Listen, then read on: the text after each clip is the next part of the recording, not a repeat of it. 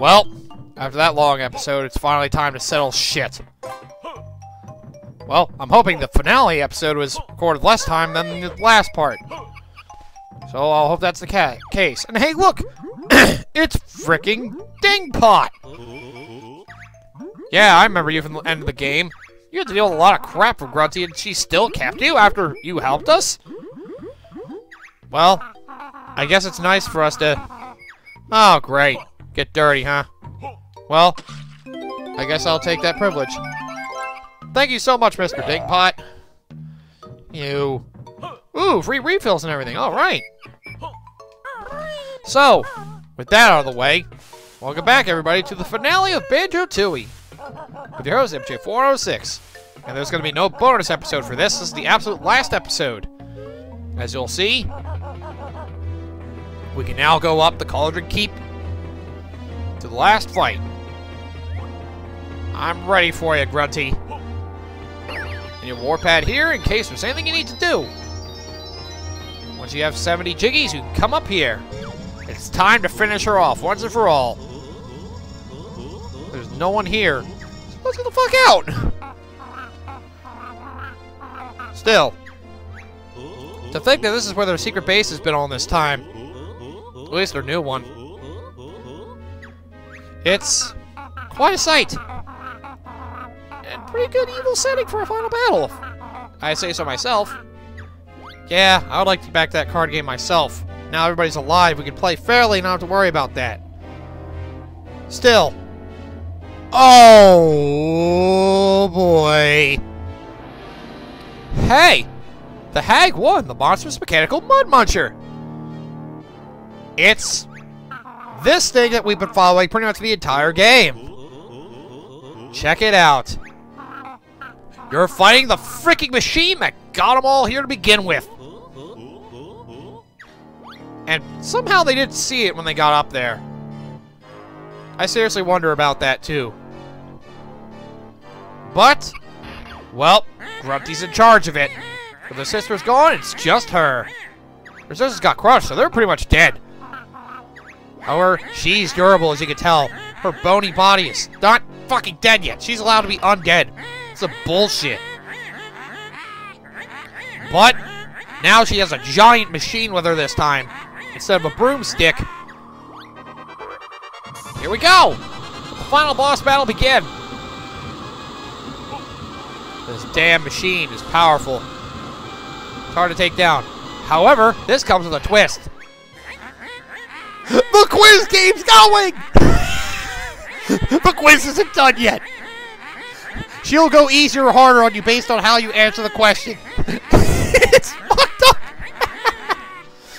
so you want the boss fight to be easier, make sure you have your knowledge. What is her name spelled backwards? That would be this one. Adeline. Get it right, she'll go slower. So yeah, it's worth having your knowledge with you. If you get it wrong, though, it'll be harder to dodge. And now, the Breegull blasting commences again.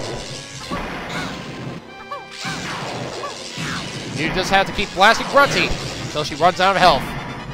But she has 100, the highest for any boss of the game. However, with every 10 she loses or so, a new phase begins. For example, now it's more lasers. She's firing her mini lasers! So stay on your toes. She is one tough customer. Question? Next one. What's wrong with the kids full of Jolly Rogers? Uh, uh, cold or full of toxic waste? Oh, thank God. Oh, God. By the way, make sure you have the eggs necessary for this fight. There are plenty of ways to refill, so, you know. Sure to refill on eggs every now and then. Be surprised how much you need for this fight. Damn it, I'll have to refill later. However, you use any egg, so you don't have to worry about too much. Uh-oh. But the lasers aren't working. So now it's time for her to come up with something new. The mortar cannon! This machine's got a whole bunch of crazy freaking tricks. Gah! No! Whew. Got the grenade eggs. And now for the next question. What could this one be?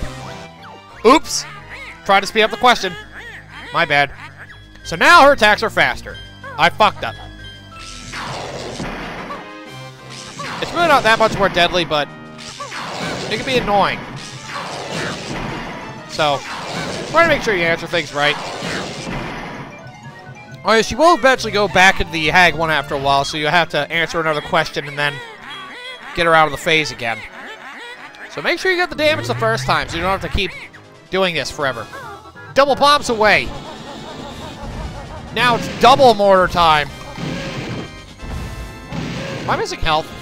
I don't know. I'm going to keep those honeycombs around. Thankfully, those honeycombs don't disappear. That would suck if they did. Okay, don't hit A, speed up the question. What are the arch enemies of the Jinjos? Jujus! Bim I see bimbos. That'd be a good name. Ah, fucking. Too bad you can't lock an angle. If you like lock yourself in a particular angle, that would make things so much easier. Oh well, this is before Perfect Dark happened, so they weren't exactly perfect with their shooter controls. And now she learned the mortars aren't working. So, ugh. A V10 engine, huh? Damn, that's pretty rad. Oh, boy. Now she's bringing the engine. She's bringing the drill. She'll attack me head on. And then spin. The eggs keep regenerating, so you don't have to worry about that too much. Ew! That perfect timing, though. Alright, I'll just keep hanging around her side. She won't pin herself too much to a wall, so that's one good thing, I guess. Different color gem piles are found in Gurgulch Mine. Ah. Uh, ah, shit. Damn it! I didn't remember. It was like purple, like purple, blue, and something else. Alright, watch out. The lasers are still out, so... Try not run into them. Yeah, if you didn't notice, the lasers do get progressively faster as the fight goes on. Now she's got something notched. Something's going... Garage. It's fucked up. Now we can fuck the batteries! Fuck you! So now we gotta unpower this thing. Or goddamn drill. Alright then. Now all four of the lasers are on, and the drill is faster than it was before. This is one of the harder phases of the fight because there's a lot of crap dodge. Also, the lasers only have a particular range. They're like a laser pointer. In a way. Still. Gotta watch out. Come on. Alright, here we go. The total number of legs on all of Humble Bubba's Oh my god! What? Whoa! Wow. Good question. Holy crap. Damn, what a fucking brain buster. Jesus Christ. Whatever. We got her taken down. Watch out for the lasers as you come over. They'll kind of fade, but they won't completely fade, so just make sure you hop over them. Watch out for these grunts. They'll ruin you. And there goes your second battery. Say goodbye to your stupid Hag 1, bitch. No, don't stop, Mr. Drill. My lovely lasers. So now, your vehicle's broken. So all that's left is for us to fight to the death. No more quiz questions.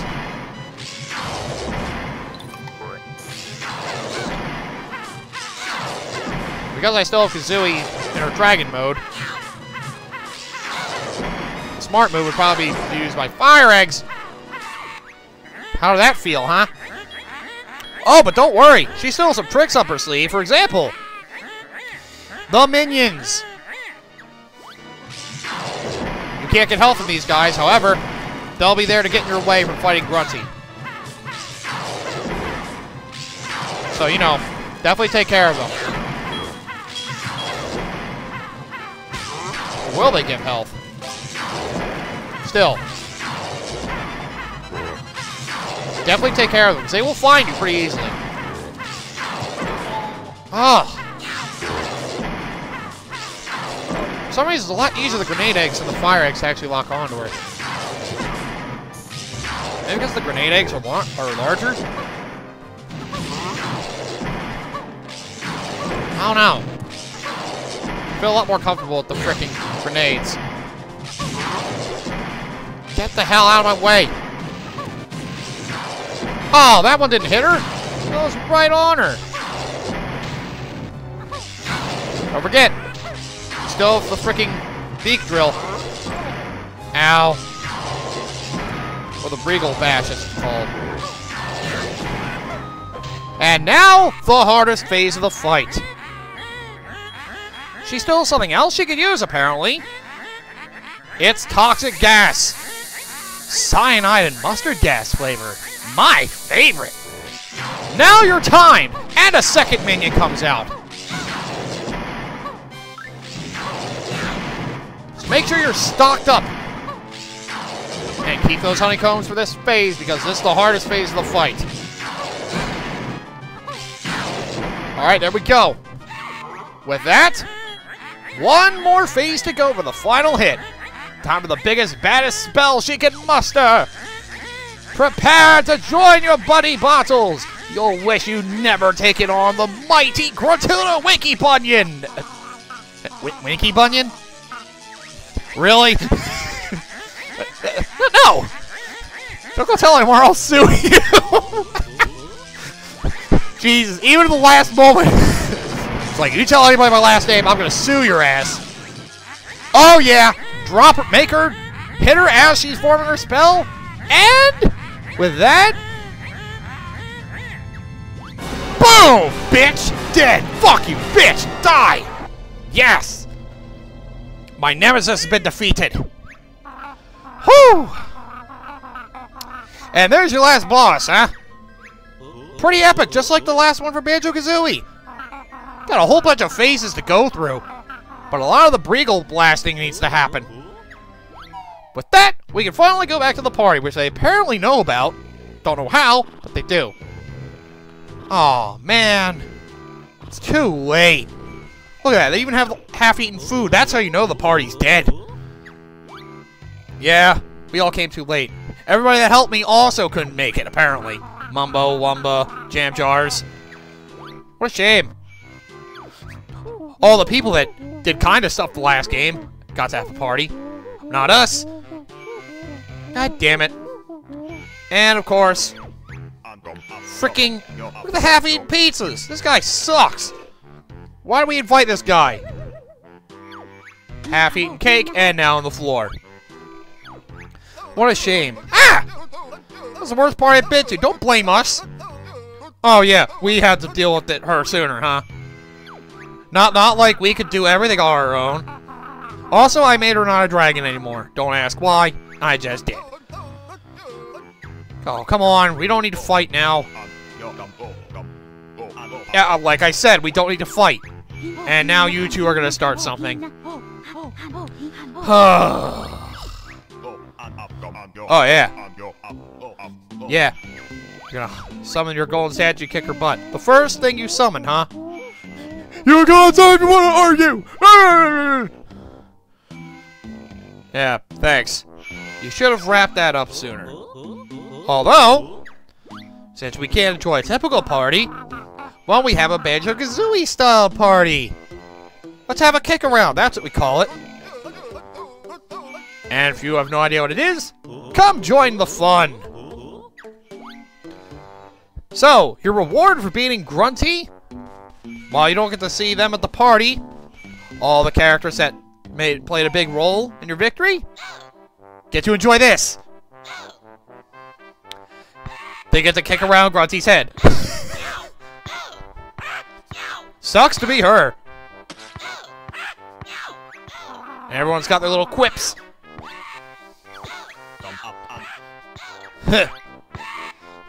See?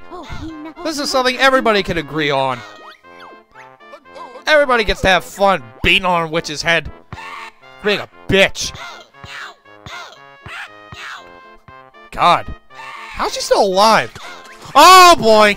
Yeah, how is she still alive? Seriously, she should be dead. This is bullshit. You'll be sorry. Just you wait till Banjo 3! that was their original joke from Banjo Tooie. Because, you know, Tooie sounded like Banjo Kazooie 2. So Banjo 3. and she's still getting abused. But we all know the third game's Nuts and Bolts, which I don't even know if I'm going to be doing for the channel. Either way, that's the end of Banjo Tooie, ladies and gentlemen. Why don't we see where I am on the leaderboards, by the way? Number 265? Huh, not bad. I mean, compared to other people that probably did it much faster. Can I see who number one is, what their time was? Four hours, huh? I took more than twice as long, but I'm in the top 300, so there's that. And I kind of wasted my time, too, so... That's really good! At least if I have to say so myself. So, what other achievements are there, if any? None, I got all of them. We beat Grunty, made Rainbow appear. They show the Pants Attack one. Which, I don't know, that, that makes it a little hard to tell what's going on. Save Sabreman. Beat the fricking the fricking second kickball thing in Hailfire Peaks. Shot up all those damn ulcers or clinkers or mines. Froze all the calamari. Got all the balloons in Witchy World's game. Defeat Old King Coal. Got one of all the treasures.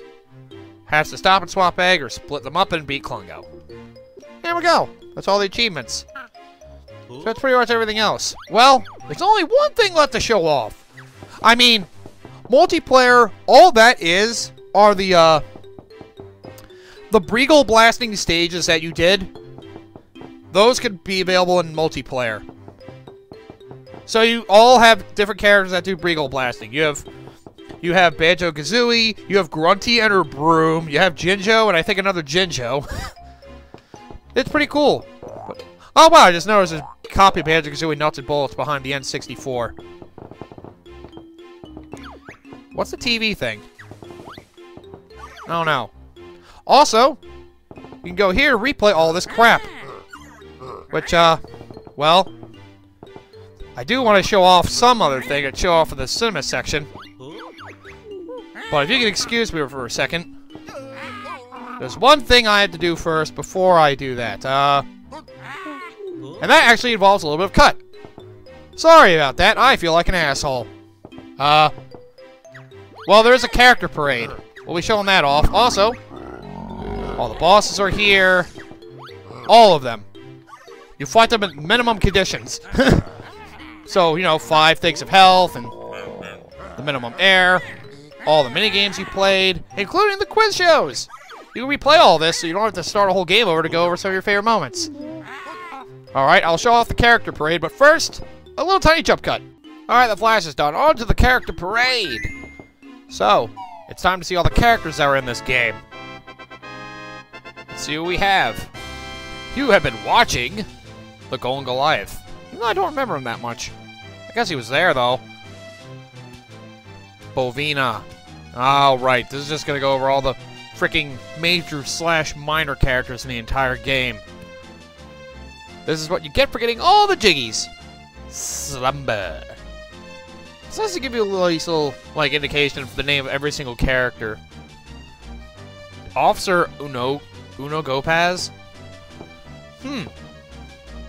Seems to fit him, oddly enough. Blotez, that's his name. I called him Targitzan. That's the freaking boss, who they're probably going to show, too. Yeah, there he is. Weird, towering, big-headed freak. There's a lot of them. Alright, well, yeah. We'll just go through this list. Oh, there's Bully, Bully and Bill and his partner, partner Brentilda? Nope, that was one of the... Wow, Matt. Dilberta. Close enough, I guess. Well, since this is going to go on for a while, I guess I'll just talk about things. So, this episode will officially mark the end of the Rareathon, which has been a nice long showcase of some of the best that Rare has to offer. There's a lot more to this, though. Like, I kind of mentioned it last episode, but there's there's a lot more. There's depths of the Donkey Kong Country franchise.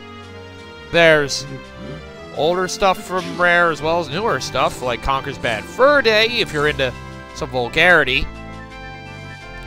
And Rare had some other stuff that was pretty decent after the Nintendo 64 life cycle. Oh, I didn't know he sneezed into the fries. What an asshole. I mean, there wasn't... Oh yeah, can't forget about Diddy Kong Racing. That's another good one. A racing game made by Rare. It was actually really damn good. They also have a lot of gems like Jet Force Gemini, awkwardly controlled but well designed. They had, uh, well, grab by the Ghoulies, let's just ignore that altogether. I don't think anybody wants to deal with that. The 360 had some pretty good titles. I mean, I never played Kameo Elements of Power, but apparently it's a pretty decent game on their part. And, uh, well, Viva Pinata was actually really good as well. It's like, if you need, if you need a good description for Viva Pinata, it, it feels like The Sims, but very colorful and, well, there is kind of a plot to it. I never got far in it because it's a long game, but it's pretty damn fun to like develop your pinatas into more and more complex creatures and complete missions with them, build stuff, breed them. It's it's crazy. Viva Pinata is like the best game they've made in the past like 10 years, I think. I mean, they made some other good ones, but Viva Pinata was a great hit. I don't know much about the sequel, but I imagine it was probably good too. There's also the sequel to this, Banjo-Kazooie Nuts and Bolts. I mean, I will say that while it does get a lot of ridicule for not being as good as the first two games, it is still good. It's just... It feels like they just tacked on Banjo-Kazooie's franchise into it. Which is a little frustrating. But you know, it was still a good game. It just it it just feels like it defamed the whole franchise for it. But hopefully, if a fourth game comes around, they uh, go back to the roots that are similar to these ones. I'm just hoping that uh, we don't need another experiment. Some game franchises failed from experiment uh, experimental ideas. It's not always great to expand them into trying different things. For example, Paper Mario Sticker Star. Oh, God. I didn't like Super Paper Mario that much either, but, you know, it's alright to take a game to a different direction if you want to, like, slightly ramp it up, revamp it. What if you, like, change its core mechanics? It just... It doesn't feel the same. You, especially if you, like, change the type of genre it is. Like, Paper Mario's best example I can come up with. The first two Paper Mario games were turn were turn-based RPGs, and it was they were both very good. Super Paper Mario got rid of the turn-based idea, just made it completely action, which kind of worked in its own right, but it got rid of a lot of the RPG feel, if you ask me. And Sticker Star pretty much revamped the turn-based combat, but they had a lot of flaws in that combat which were based on its stickers. That was its biggest flaw. Nuts and bolts? Well, for those of you that know the game, oh boy! Looks like Choposaurus got more food or somebody to get the ulcers out of him. Yeah, fuck you, buddy. Hungry. But Nuts and Bolts, it took away the platforming genius that was the Banjo-Kazooie games and made a game much more focused on vehicles creating vehicles and using them for different scenarios. Like I said, it's still good. It just you're getting rid of what made the franchise magical and turning into something else. It's not something you should do. Rare had plenty of other characters that have gone on. They had Tiptup, who they used in this game. Like, look at the Diddy Kong Racing characters from the N64. There are plenty of characters I could have used for that. Tiptup probably would have been their best option. But I don't know. I don't really know how they went. Then again, the big heads, uh, Chris and Tim Stamper, left after uh, Rare got bought out. Oh, which, by the way, for those of you who don't know, the last game that Rare worked on with Nintendo was uh, Star Fox Adventures. Kind of shows the beginning of the fall, which, uh, well, I explained in my LP of Star Fox Adventures, by the way, check that out if you want. But I might as well say it again here. They were going to make that a completely original game, kind of based off Legend of Zelda, that was going to have a lot of interesting concepts and ideas. However, Miyamoto saw the character, who looked like a fox, thought Star Fox would be a good fit. So we got a Legend of Zelda style Star Fox game. Again, changing a franchise into something it didn't have to be. However, the game was good. But, because Rare had to, they had time constraints for releasing the game, and had to change to a Star Fox style, it kind of got a little stripped down. It was extremely linear, and they had to get rid of some of the content that was originally going to be in the game, so it wasn't nearly as much as it could have been. Ah. you know.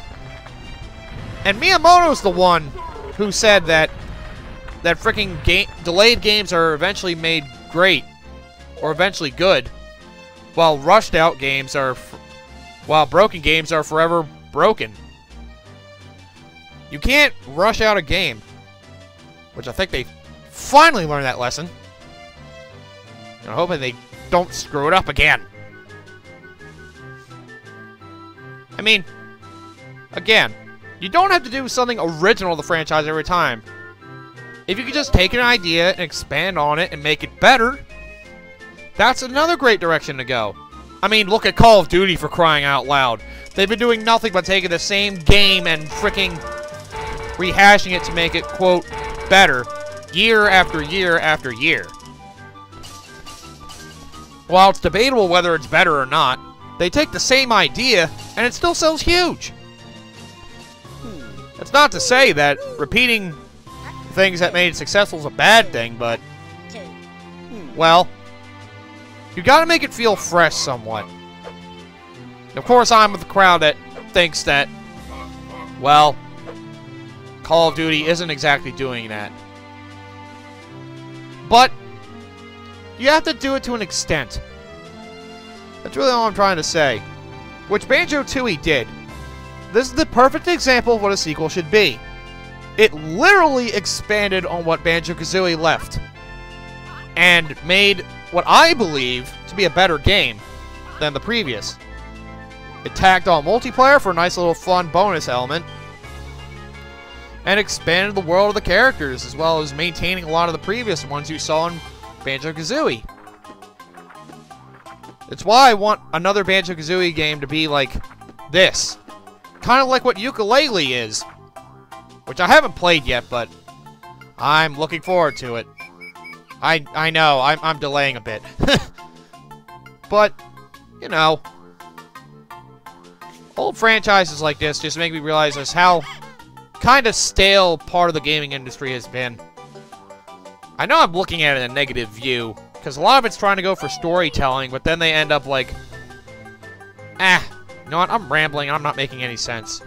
Either way, I just, I just wish more of the games were more about just the fun aspect these days, rather than expanding on characters and their universe. Roysten, I didn't even know that thing had a name. Like, instead of just expanding on, like, characters and story and stuff, they they try to do that, and sometimes it gets rid of part of what made some of the games fun back in the day. Like, see, this game was pretty simple. Which is why I love old games by Rare, and a lot of older games from the N64 and GameCube era in general. Damn it. Once it got to the PS4, and once it got to the PS3 360 era, I started to notice that shift in tone that was more towards story rather than gameplay. While I am for it, in a bit, again, the gameplay I feel should come first. Well, I can't really think of much else to talk about. So, uh, you know, just enjoy the gaming you love and, uh, you relive a lot of games that are just, this is just a golden example of one of the franchises that made gaming great. It was always expanding since the 80s, and this was part of the peak of it in the 90s. And early 2000s, I suppose. Yeah, I'm really running out of things to talk about. I can't even say anything on my mind. Either way, we're finally into the character parade. And this game, of course, starred Banjo. And only Banjo. Oh, and Kazooie. Why'd you separate them both? Confusing, but fine, I guess. Oh, thank God it's over. Really long character parade. I knew that was going to take a long bit of time. Well, that's everything this game has to offer. I mean, I would show off the multiplayer mode, but, well, maybe that's something that's better saved for the co-op channel. Well, either way, let me just do one more thing before we end this off. There's one thing I never actually looked at. You look at all the items you have on hold with you, and the objects and items. See, look, I still have my two doubloons with me. This would also be where the fries and burger would be if I had them with me. It keeps track of all the stop and swap items you got from the previous game, Banjo-Kazooie, and all the stop and swap 2 things you have here for Banjo-Kazooie Nuts and Bolts. With the Oh No Not Again, Lucky Loser, Better Than a Slap, and the winner is, and Calmer Chameleon. These are things that can go into a Banjo Kazooie Nuts and Bolts if you so wish to play it. I doubt I'll do it for the channel, but who knows? I might have a change of heart. It's hard to say. Either way, I'm really glad I got to show off some of these rare gems with you. I know I did plan on doing Conker's Bad Fur Day. I thought I thought Blast Corps was probably a better fit. Now all the games are done, I have to think of more games to do in the uh in my cycle. Which, well, other than the one on Monday, Wednesday, Friday, I'm still trying to plan it out. Because it's been a little hard for me to think of games recently. I don't really want to do more rare at the moment because I've done a hell of a lot recently. Still, one of my favorite gaming companies from back in the day, and they still had some good games recently, just not up to the standards of the 90s. Still, I recommend checking them out, especially if you're new into gaming. It's a, it's definitely a fun series to try out. All the rare stuff, really. But, I think I'm talking about this a little too much. So, thank you all for watching my Rare-thon, and more different games will be coming, I'm sure of it. Whatever they will be. But until then, I'll see you guys next time for when, uh, the next thing comes out. Be sure to watch whatever you feel like watching, whatever's on my channel. Check out my friends as well, of course. Nordiper, Coda, Kingslayer Koshi, Dr. Love, the rest of the Lazy Dreamers.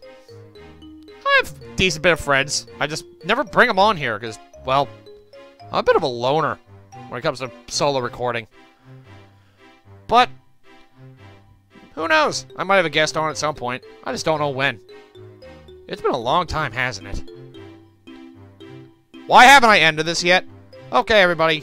Take care. Love you guys.